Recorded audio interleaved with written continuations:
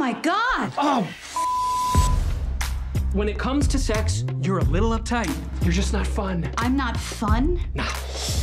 Your dad and I have decided to stop giving you money. No, but I just got fired. You lost your job and your boyfriend all in one day. That's got to be some kind of record. Thanks, Dad. You have no real work experience, but I have a job for you. Really?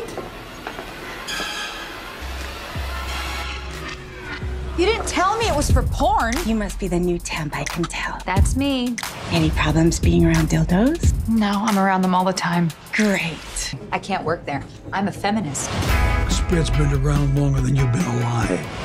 You know there's a green room for talent. Do you think I'm a porn star? No, no, no, definitely not a star. Your hair is so slippery looking, like a baby doll. Well, thank you. I just came to show off my new tattoo. it's an arrow pointing down to my cute little. Oh, no, no, no, no, no. Please. I, I, I, are you sure? I think you're better suited for a job where you, I don't know, make soap or fold cardigans. Uh huh. Are you guys on social media? What do you think? Yikes. I'm basically the uh, unofficial official features editor here. Do you have a name or is it just unofficial official? okay. Dad, what are you doing here? You work at Spread Magazine. Mr. Ferretti, I just feel like an app and some good social media could really turn this place around. I was really impressed.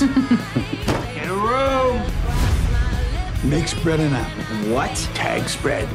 And you get paid. What if they're fetish videos? Even better.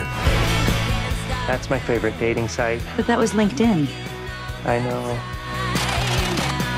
I have a theme for the next issue. Foot fetishes. There's an audience for that. Liz, it's now or never. I think this went really well.